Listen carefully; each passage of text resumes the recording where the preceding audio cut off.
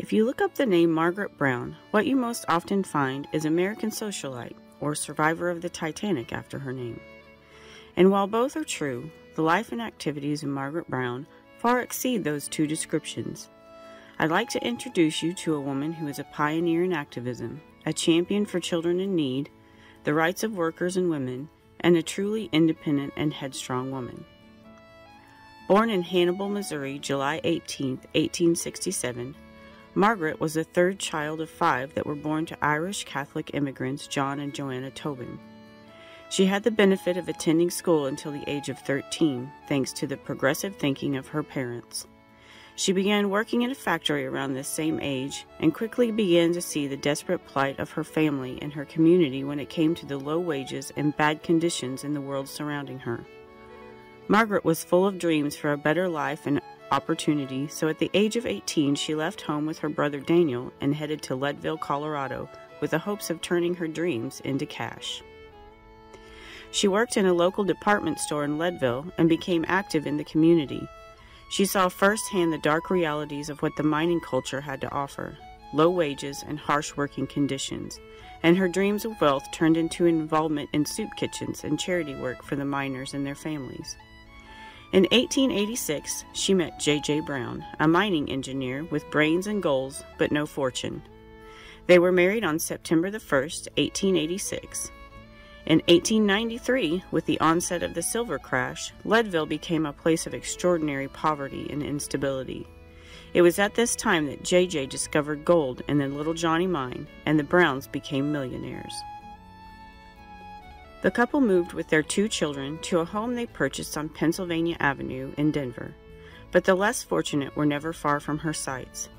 Wanting to make a difference, Margaret teamed up with other like minded individuals to create public baths and advocate for more public parks and city improvements.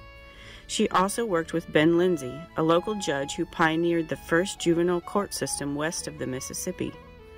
Margaret was a charter member of the Denver Women's Club, an organization whose mission it was to help improve women's lives by providing access to education and charitable efforts. At this time in her life, she became well versed in the arts, fluent in French, German, Italian, and Russian, skills that served her well in travels abroad as well as when the Titanic sank. Although unsuccessful in getting the captain of lifeboat number 6 to turn around to rescue more from the waters, once on the Carpathia, she was able to converse with many of the lower class passengers to help with immediate needs, and through her philanthropic efforts, had raised $10,000 to help them from fellow well to do travelers by the time they had reached the shores of New York. She was a tireless activist for women's suffrage and better working conditions for miners. After her Titanic fame, she was called on by the miners in Ludlow, Colorado, who had been on strike against the Colorado Fuel and Iron Company for dangerous working conditions and extreme hours. In April of 1914, this came to a head when workers and private guards hired by the company broke out in battle. Twenty people, including women and children, were killed. The company was part of the Rockefeller conglomerate, and Margaret went to Ludlow to try to help. She truly walked a fine line and refused to get sucked in by the radicals on both sides. She did not call for the resignation of the governor like the workers asked, but she was able to get Rockefeller to see the errors in his business practices, and he eventually agreed to make concessions. In 1914, Margaret ran for a seat in the U.S. Senate, but ended her campaign when World War I broke out. She returned to France to work for the American Committee for Devastated France. After 22 years of marriage, she and JJ quietly signed a separation agreement but remained married. She continued on with her philanthropic work for the rest of her life. When JJ died in 1922, she moved to New York City and was living in the Barbizon Hotel, famous for housing Ingrid Bergman and Candice Bergen.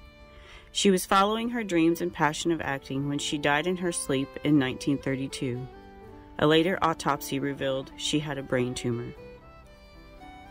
She was buried in New York with her husband in the cemetery of the Holyrood.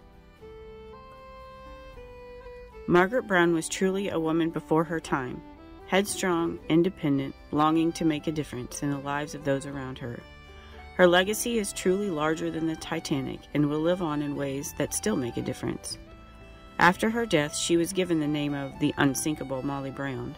Called Maggie by most of her friends, her legend encompasses so much more than her brief stint aboard the famous passenger ship of all time.